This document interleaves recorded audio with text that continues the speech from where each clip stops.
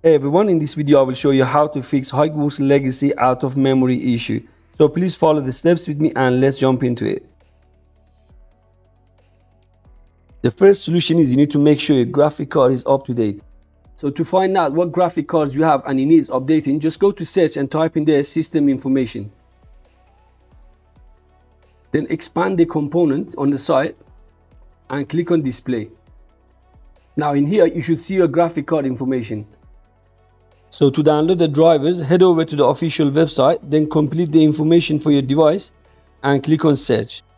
Then at the bottom, you will see the latest versions in here. Once you download it, then run it on your computer and it should fix the problem. If you are using AMD or Intel drivers, then you need to follow the same process. I will leave the link in the video description for these websites. And next solution, open up the command prompt. So just go to search and type in there CMD and make sure to run it as administrator. Type this command in the command prompt sfc space forward slash scan now and then press enter. If there are any bugs on your computer, this command will repair it. This process might take a bit of time, so while this is running, you can minimize this one and try the next solution. Go to search bar and type view advanced system settings and open it up. On the top select advanced tab, then click on settings.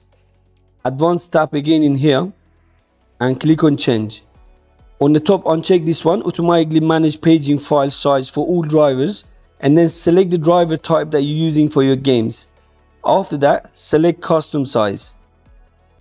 In here for initial size we need to make sure to put the recommended value which is in my case is 1868 and then after that you need to make sure to multiply this one by 1.5 so open up your calculator so in my case, I will type 1868 times 1.5 and my maximum size will be 2802.